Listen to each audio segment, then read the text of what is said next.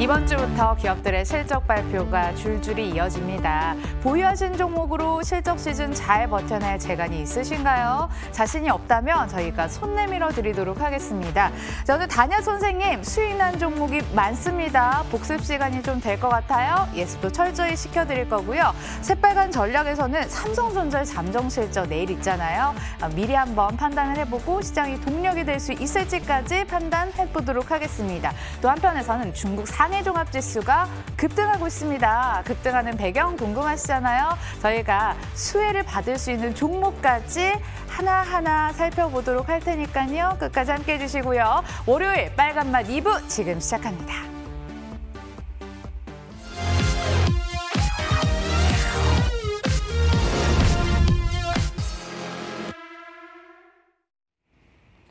네, 주포 세력들의 움직임을 포착해서 따라가 보는 시간입니다. 정말 밀린 이야기들이 너무 많은데요. 오래 기다리셨죠? 다냐 선생 바로 연결합니다. 안녕하세요. 네, 안녕하십니까? 네, 선생님 정말 얼굴 까먹는 줄 알았습니다. 고맙습니다. 네, 오늘 시장도 좀 잘 가고 있는 것 같은데요. 역시나 실적 기대감 속에서 시장 너무 잘 가는데 오늘은 카카오에 대해서 좀 여쭤보려고 합니다. 카카오 30만 원도 넘어섰고 또 짝꿍이면 네이버까지 이두 종목 계속해서 더 갈 수 있을까요?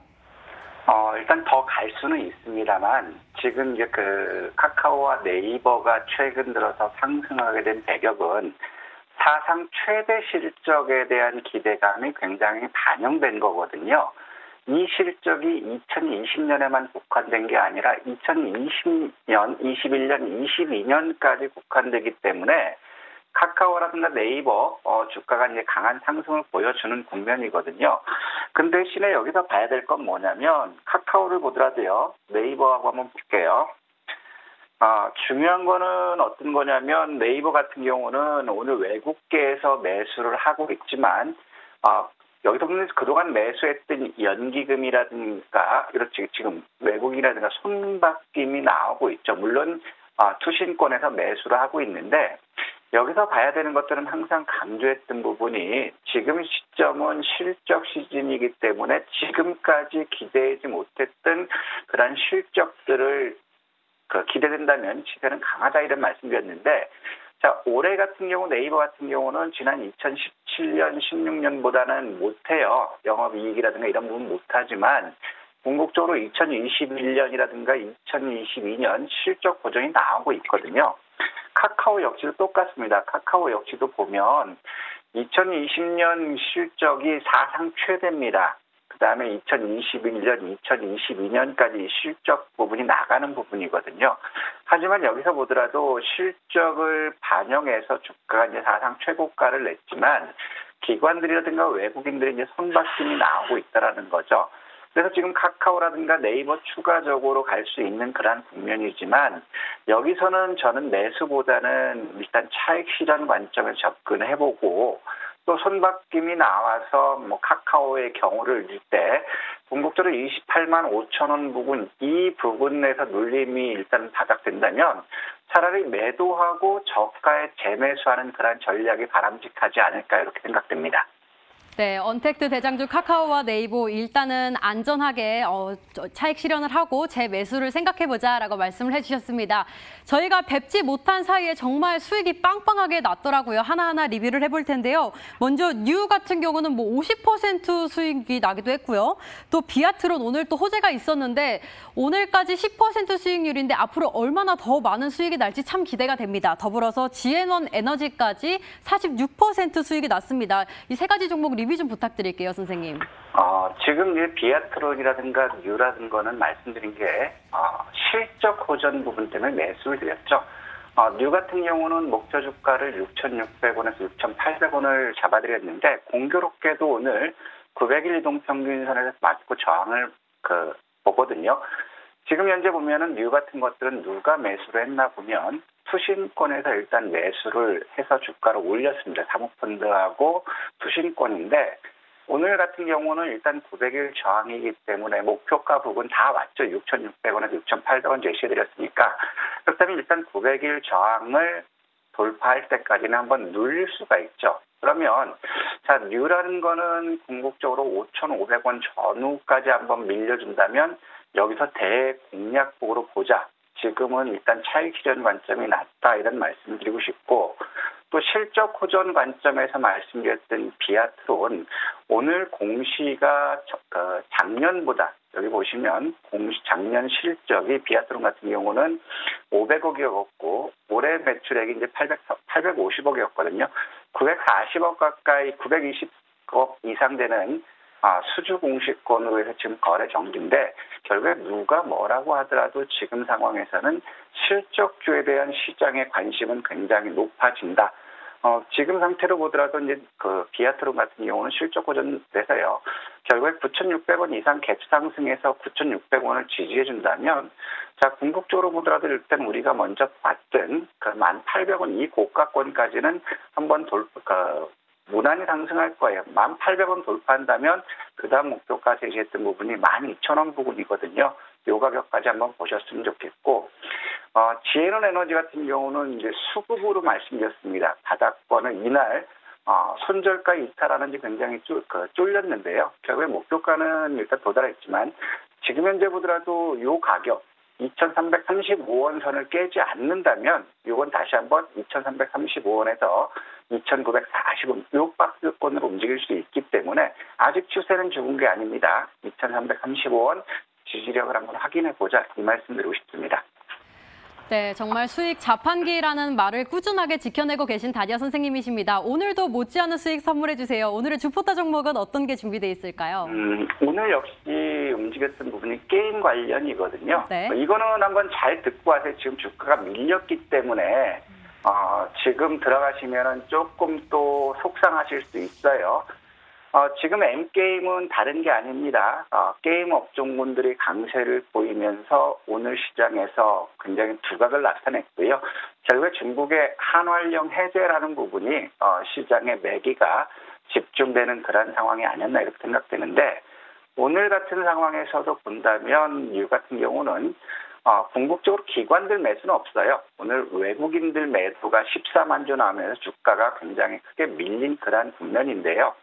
음, 여기서 보더라도 잘 듣고 가세요. 지금 이제 봐야 될 건 어떤 거냐면 시장의 매기는 확정됐고 게임 업황의 실적 개선도 기대되죠. 그다음에 지금 현재 보더라도 뉴 같은 경우는 6천 원대는 이 보면 여기 보면 5,960원대 되면은 매물벽이 굉장히 커요. 이 가격을 돌파해야지 6,500원, 7,000원까지 볼 수 있는 부분인데 그러면 오늘 같은 상황에서 뉴를 왜 잡았냐고 하면 이걸 한번 보여드릴게요. M게임 같은 경우는 오늘 상황에서 보면 KB증권 창구가 지금 현재 102만 7천 주를 순매수하고 있습니다. KB증권 창구는 제가 아까 2시에 이걸 보내드렸을 때 KB증권 창구의 순매수 수량은 대략 97만 8천 주였거든요. 그럼 대략적으로 어, 지금 같은 상황에서는 약 아, 2만 5천 주 이상 순매수를 가담했다라는 것이고 KB증권 창구의 현재 평균 단가 수준을 본다면 굉장히 높아요. 5,540원 수준입니다. 그리고 어, 또 KTB 증권 창구를 보더라도 KTB 증권 창구는 지금 이제 수량의 변동이 없이 그대로 매집력이 100%죠. KB 증권과 공교롭게도 뭐 KB, KTB 증권인데 두 개 다 매집력이 어, 100%라는 거예요. KTB 증권 같은 경우는 2시에 수량과 지금 현재 수량 변동이 없습니다. 그렇다면은 아, 지금 주가를 올리는 핵심적인 창구는 KB증권 창구일 거고요. KTB 두차증권의 64만 주 가까운 수량 평균 단가는 조금 높습니다. 5,620원이거든요. 그러면 지금 보면 매집력은 뭐 지금 한 4% 수준이죠. 키움 증권 창구 역시도 31만 주가 있는데 얘가 5,570원이고 미래대우 창구도 역시 대략적으로 뭐 어, 4% 수준이죠. 14만 7천 주가 있는데 얘도 5,566원이라는 거거든요. 그럼 여기서 보셨다시피 지금 상황에서 기관들이나 매도 나온 게 아니고 외국인 매도라는 거죠. 그렇다면 신한금융창고는 외국인 창 매도 창고로 인식될 수 있다라는 겁니다. 그러면 지금 현재 M 게임의 분봉을 보면 지금 현재 제일 좋은 부분이 여기였거든. 지금 보면 궁극적으로 적정 매수 가격을 제시해드린다면 요 부분입니다. 5,170원 수준, 5,170원에서 5,230원 수준까지 일단 잡아드렸는데요. 여기 보면은 5,160원까지 굉장히 양호한 모습을 보였거든요.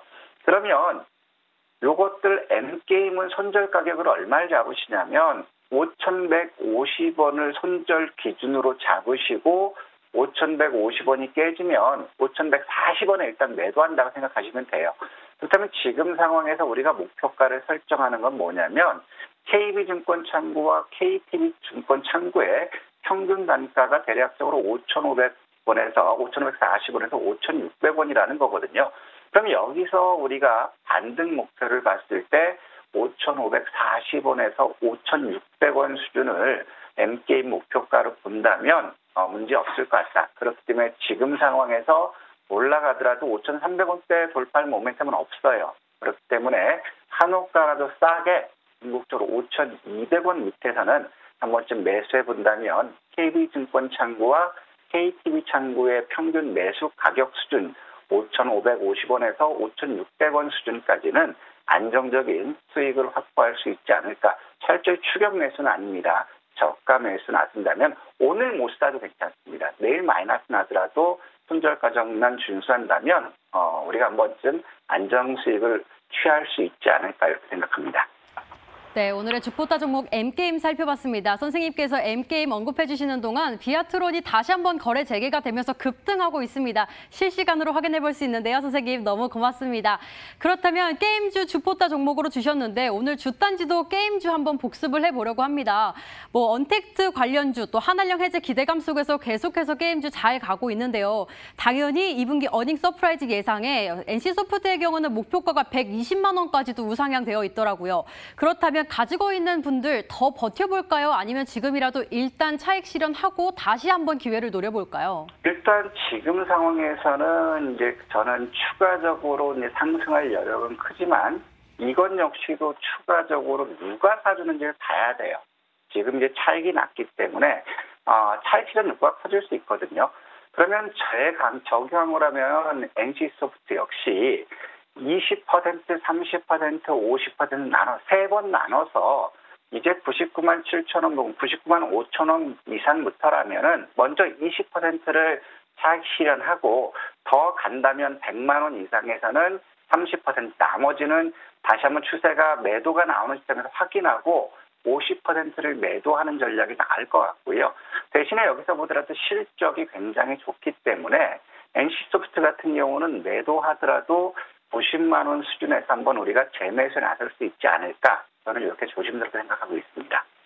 네, 지난번에 주셨던 뭐 넥슨지트의 경우는 20%가 넘는 수익률을 자랑하기도 했는데요. NC소프트는 상승 여력이 남아있지만 조심스럽게 접근을 해보자라고 말씀을 해주셨습니다. M10W 단야 선생과 함께했습니다. 고맙습니다. 네, 감사합니다.